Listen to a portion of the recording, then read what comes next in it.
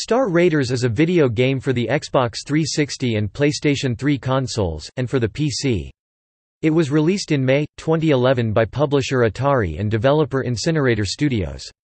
It is a reimagining of the 1979 Atari classic Star Raiders. Like the original, Star Raiders is an action, first-person spaceship combat game in which the player travels through a streaming starfield in pursuit of the game's enemy, the Zylons. The original was well received in its time for innovating the space combat simulation genre with higher quality graphics and a more complex game play and inspired other titles such as the Wing Commander and X-Wing series. The game pays tribute to the original Star Raiders with the objective being to destroy the same enemy and by incorporating many familiar battle elements, but diverges from the original with a new storyline. Its other additions to the original game are customizable ships and multiplayer gameplay, with co-op campaigns, a team-based multiplayer mode, and online play.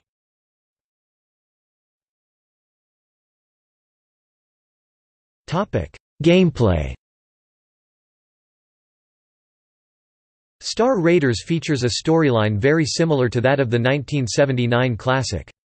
The Zylons, an alien race bent on humanity's destruction, are moving their forces towards Earth, and it is up to player to repel their assault and save the human race. The player's ship is a small space fighter, but with the capability to transform itself to deal with a variety of situations. The forms include a dogfighting ship, capable of close and quick battles with other Zylon dogfighters, an assault form that is good at destroying larger, more powerful enemy ships, and a turret form, for destroying the largest Zylon ships from the inside. All of these forms will be needed, as the Zylons dramatically outnumber the player, both in numbers and size of their ships. Aside from fighters of similar size, the Zylons have cruisers and frigates to confront the player, as well as their largest ship, the Baystar.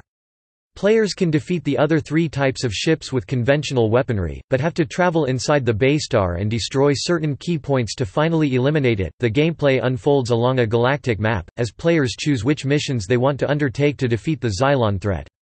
Missions involve the players dogfighting with Zylon forces in a variety of settings, from an asteroid field to gigantic space elevators, and end when all the Zylon ships are eliminated. Once the mission is completed, players can return to the area if they so choose, to find ore for upgrading their weapons and shields.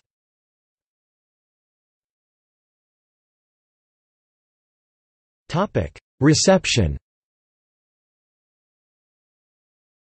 The game received generally poor reviews.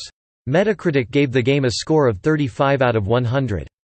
Some comments about the game included, Star Raiders gets boring way too quickly and fails to motivate you to play on.